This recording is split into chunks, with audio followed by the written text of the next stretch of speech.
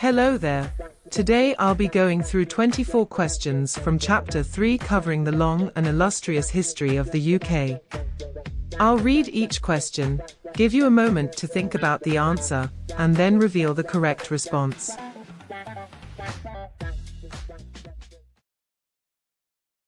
Is the statement below true or false? King Henry VIII created the Church of England when the Pope refused to grant him a divorce. False. True.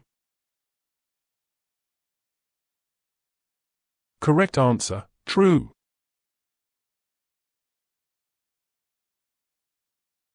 The Bill of Rights of 1689 limited whose powers? The Church. Parliament. Judges. The King. Correct answer, the king.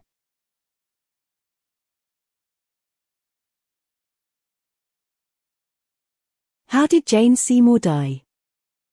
The plague. Old age. She was executed. Following childbirth.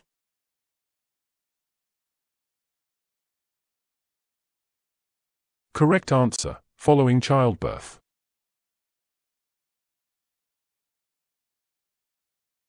Which two developments were features of the Industrial Revolution? Machinery. Medical advances. Changes in the law. Steam power.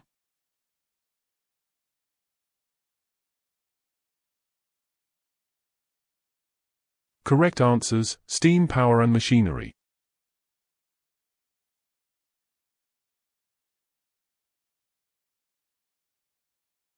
Which two developments are associated with the swinging 60s? Abortion law reform. Decimal currency. Children's rights law reform. Divorce law reform. Correct answers, abortion law reform and divorce law reform.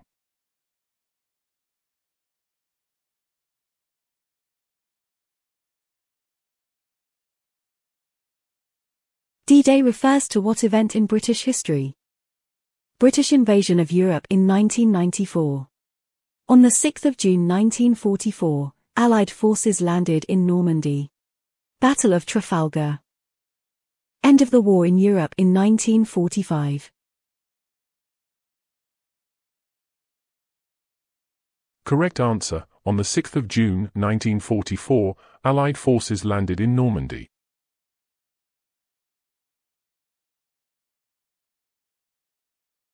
Is the statement below true or false?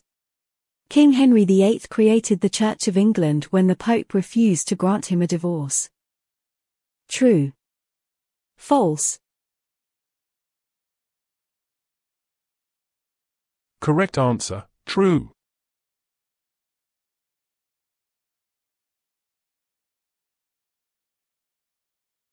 During the Great Depression of the 1930s, which two major new industries developed? Aviation. Automobile. Coal mining. Shipbuilding. Correct answers, aviation and automobile.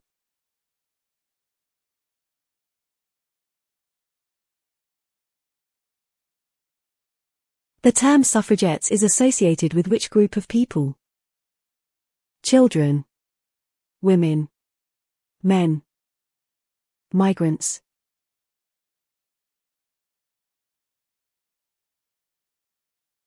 Correct answer, women.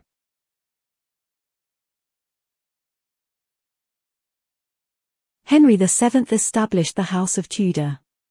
What color rose became the Tudor emblem? Red. Red and white. White. Pink. Correct answer, red and white.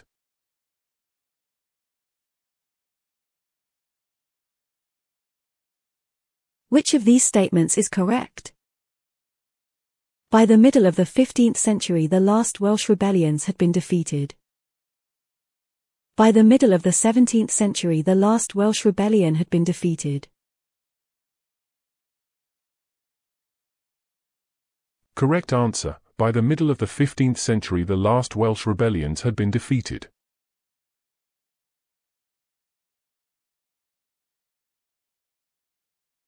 Which of these statements is correct? By 1400 the preferred language of English court was French. By 1400 the preferred language of English court was English.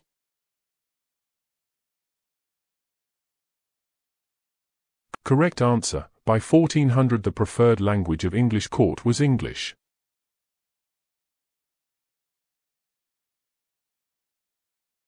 Which group of refugees settled in England before 1720?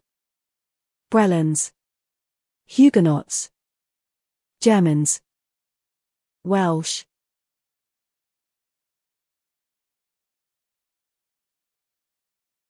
Correct answer, Huguenots.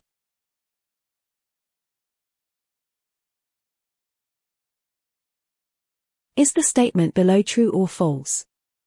Shakespeare was a great English playwright. False. True. Correct answer, true.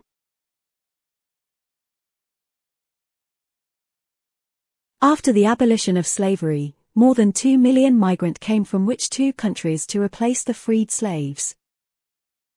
Russia. India. China. Australia.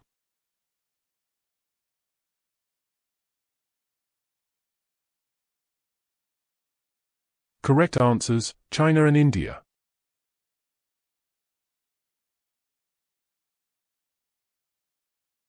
Which of these statements is correct? The Anglo-Saxon kingdoms were united under King Kenneth MacAlpin. The Anglo-Saxon kingdoms in England were united under King Alfred the Great. Correct answer. The Anglo-Saxon kingdoms in England were united under King Alfred the Great.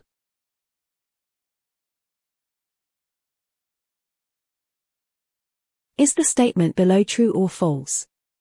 In 1833 a law abolished slavery throughout the British Empire. False. True. Correct answer, true.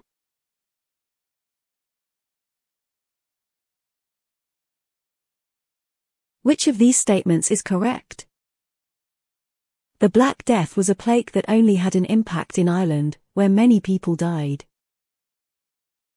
The Black Death brought about major changes in English society due to the number of people who died.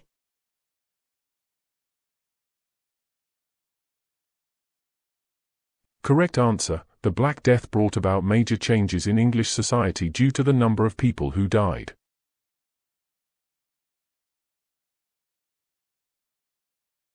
In which part of the British Empire did Boer War of 1899 to 1902 take place?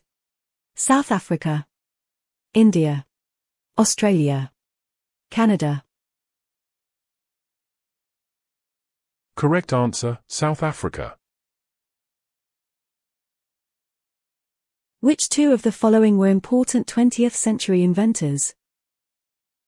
Alan Turing. Tim Berners-Lee. Isambard Kingdom Brunel. George Stephenson. Correct answers, Alan Turing and Tim Berners-Lee.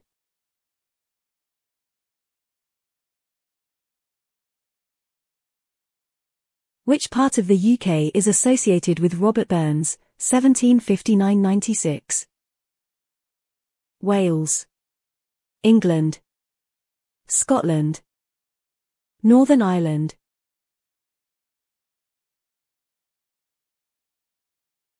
Correct answer, Scotland.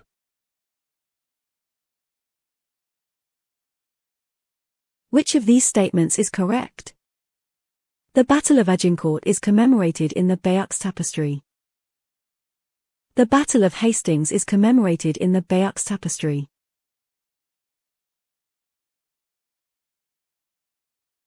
Correct answer, the Battle of Hastings is commemorated in the Bayeux Tapestry.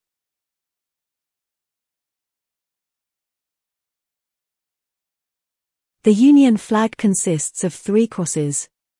One is St. George's, Who do the other two crosses represent? Saint Andrew, Saint Patrick, Saint David, Saint Piran.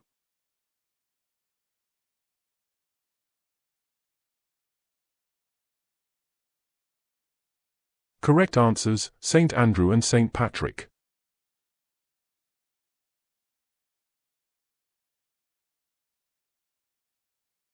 Which of these statements is correct? Hadrian's wall was built on the orders of the Roman Emperor Hadrian. Hadrian's wall was built by the Picts, ancestors of the Scottish people, to keep out the Romans.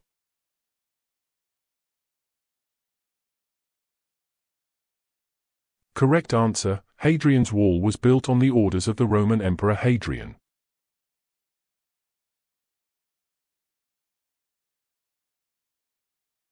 Congratulations to all of you who answered the questions correctly. You have shown a strong understanding of the fundamental values and principles of British life. Well done. For those who made some mistakes, do not be discouraged. Use this as an opportunity to learn. Review the questions you missed and retake the test when you feel ready. With focus and dedication, you will succeed. I believe in each one of you. You all have the potential to pass this test and fulfill your dreams of becoming a UK citizen or permanent resident. Stay determined and keep pushing forward. The reward will be worth the effort. This test covers only a sample of the key topics you'll need to know. To fully prepare for the Life in the UK exam, be sure to check out the other test videos we have available. By taking all of our practice tests, you'll gain experience with a wide variety of questions and improve your knowledge of British traditions, history, culture and more. The more you test yourself using our video series, the better prepared you'll be for the real exam. So keep studying, take our other practice tests, and you'll be on your way to passing the Life in the UK tests.